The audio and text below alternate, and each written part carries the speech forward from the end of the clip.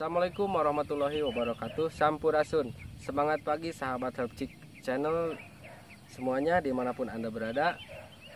Pada video kali ini Saya akan mencoba berbagi pengalaman mengenai Bagaimana cara memperbanyak tanaman herbs Khususnya rosemary dengan cara stek batang. Oke. Ada beberapa tips khusus agar eh, proses penanaman dengan stek batang ini 99% berhasil. Sebelum kita lanjut ke video tutorialnya, jangan lupa subscribe, like, and share Herbchick channel ini agar berkembang dan tentunya bermanfaat untuk kita semua. Oke, kita mulai saja praktek perbanyak tanaman rosemary dengan uh, metode stek batang. Tapi sebelumnya saya ingin bercerita dulu sedikit mengenai si tanaman rosemary ini ya. Rosemary adalah tanaman aromatik uh, yang tentu bukan asli Indonesia gitu. Dan kapan masuk ke Indonesia nya nggak penting juga untuk dibahas. Nggak terlalu penting maksudnya untuk dibahas. Yang jelas rosemary adalah tanaman uh, yang tersebar di negara-negara Eropa dan beberapa negara bagian Amerika.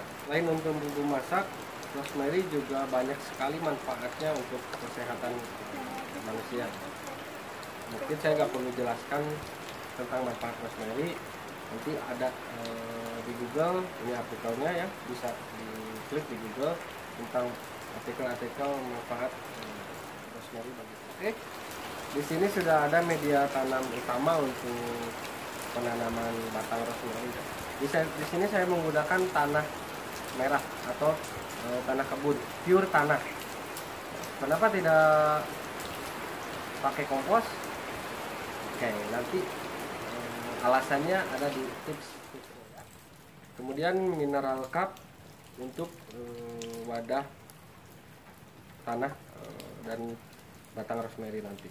Kenapa di sini saya menggunakan mineral cup? Karena belum tentu teman-teman semua punya polybag gitu selalu ready polybag gitu. Jadi kita pakai yang umum saja ya sebelum kita isi tanah seperti biasa kita harus mengasih lubang beberapa di sini untuk sirkulasi air ya untuk pembuangan air ya.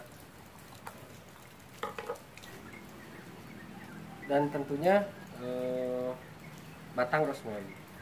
Untuk pemilihan batang rosemary usahakan yang sudah mulai berkayu ya untuk eh, batangnya udah mulai mengeras itu akan lebih cepat untuk pertumbuhan akarnya.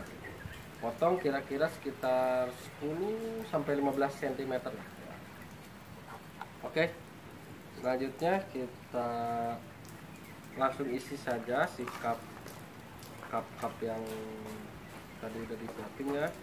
Kita ratain aja. Ini kita kita ratain. Oke jangan terlalu padat juga ya. Jangan terlalu gembus juga jangan oke kemudian kita eh, tanam si batang rosemary. Menurut pengalaman saya mungkin beda-beda ya eh, karena saya juga di sini berbagi eh, pengalaman saya selama ini gitu ya. Tidak perlu kita uh, stek ininya tidak perlu kita gunting-gunting ininya ya. Kita tanam apa adanya aja oke? okay. Ya kita ini kita tanam kira-kira sekitar 5 sampai 7 cm ya pastinya oke kita ratakan udah ditanam. Tinggal kita uh, siram dengan air sampai benar-benar basah ya sampai benar-benar airnya itu keluar dari uh, lubang-lubangnya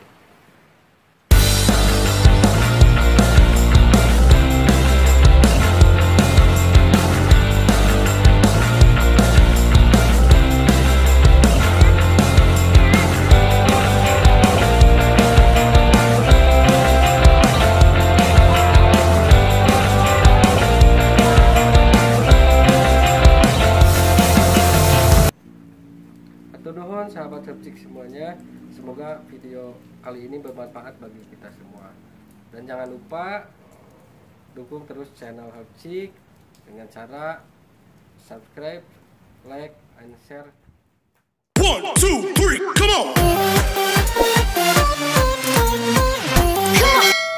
dan berikut adalah tips-tips eh, agar penanaman rosemary dengan metode stek batang berhasil 99%